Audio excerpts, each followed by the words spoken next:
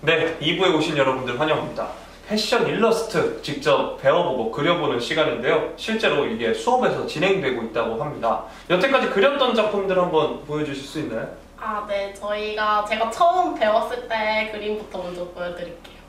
이쪽, 이쪽 보시면 아, 처음으로 제가 연필을 잡아본 계기가 되었는데요. 네, 굉장히 처음에 과제가 많았지만 인체를 비율에 대해서 좀 더 많이 공부할 수 있게 되었습니다. 그리고 지금 하고 있는 거에 대해 말씀드리면 인체에다 옷을 입혀서 실제로 마카까지 색칠하고 있는 작업하고 있고 그리고 실제 학교 누드몰에 오셔서 3분마다 포즈를 바꾸는 크로키를 배우고 있습니다. 그런 아르바이트 하면 돈 많이 받지 않나요? 그렇겠죠? 네, 알겠습니다. 어, 근데 정말 수준급이에요. 이걸 제가 이제 그려봐야 된다는 거죠? 네. 한번 해보겠습니다. 일단 한번 준비물 소개 간단하게 해주시겠어요? 네, 준비물은 사비어필과 팔절지 종이입니다. 아, 종이. 종이와 흰 종이와 연필만 있으면 어디든 갈 수 있어. 네. 의리학과 편 여러분들 보고 계십니다. 준비물이 저도 이게 준비물은 다 됐어요. 준비물은 전 다 가지고 있고 네. 제 정신 머리만 없습니다. 네. 이제 시작을 해볼까요? 먼저 뭐부터 그리나요? 어, 일단 어, 일단 지금 만약에 크로키를 그린다고 했을 때 얼굴을 먼저 잡고 그 다음에 어깨선을 먼저 잡습니다.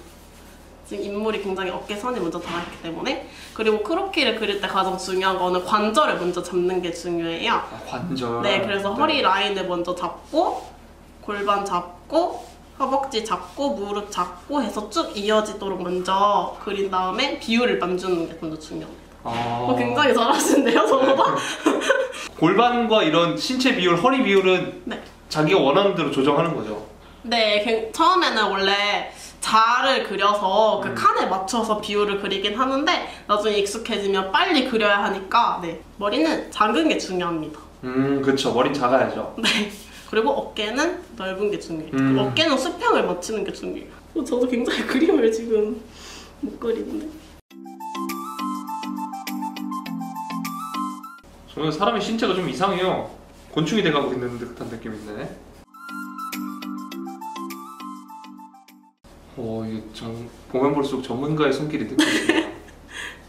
참고로 저희가 그리고 있는 건 앞에 작가님입니다.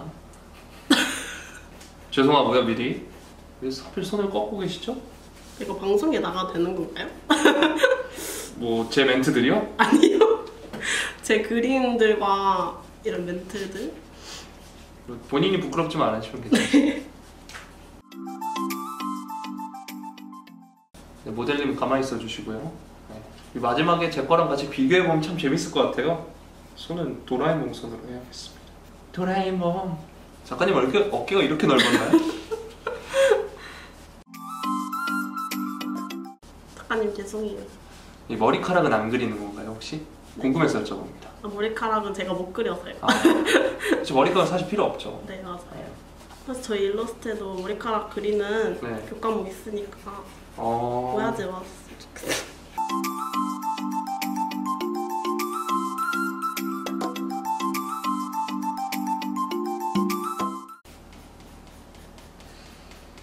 이게 멘트를 계속 쳐야 되는데 저도 그리다 보니까 말을 못 하겠어요.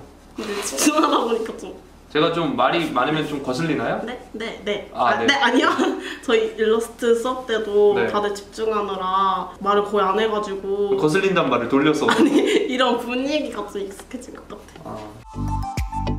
네, 지금까지 일러스트를 한번 해봤습니다. 이게 제 건데 총체적으로 난국이네요. 그렇죠? 근데 저 생각보다 잘하지 않았나요? 소질이 있는 것 같죠? 네. 뭐 이 정도라면 일러스트 강의에서 어느 정도 나올 것 같나요? 아, 재수강 정도. 음, 알겠습니다. 그럼 이거 설명 한번 해주세요, 본인 작품.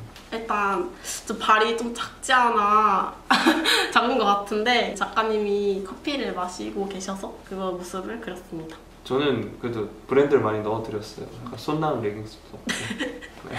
오늘 해보니까 정말 의료학과 아무나 하는 게 아니라는 게 다시 한번 배우고 갑니다. 놀랍습니다. 이 보면은 아, 이 존경스럽고 놀라울 정도인데요. 현재 의료학과에 재학 중인 모든 학생들 그리고 의료학도를 꿈꾸는 청소년들 정말 제가 응원합니다. 같이 응원하실 거죠? 네. 네.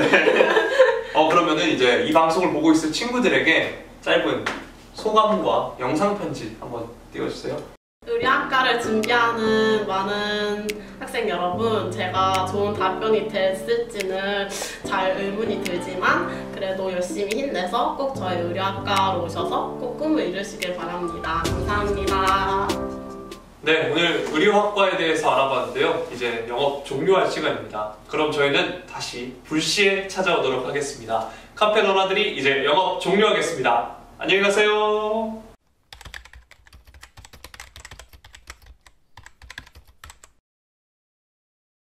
술 한 잔 마셨습니다. 일러스트가 못나도 좋습니다. 하지만 의리학과 하나만 기억해 주세요. 진심을 다해 전합니다. 일러스트가 별로일 수 있습니다. 최선을 다했고 열심히 했습니다. 저의 진심이 느껴지길 바랍니다. 고맙습니다.